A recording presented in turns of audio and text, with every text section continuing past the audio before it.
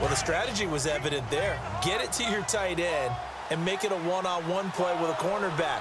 Who's usually going to win that one? The tight end, but not there. Not in this situation. How about the corner defeating that logic and making a really nice tackle? This will be caught inside the 10.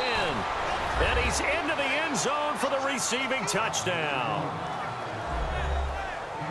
They were still throwing with a comfortable lead here late, and now that lead even more comfortable. And your first thought is, is there bad blood that went into this one ahead of time, that maybe they're seeking some revenge or they just don't like them? But the other thing that always hits me is, are they worried about playoff positioning, right? Are they worried about, do you need enough points in case there's a tiebreaker that comes into play later?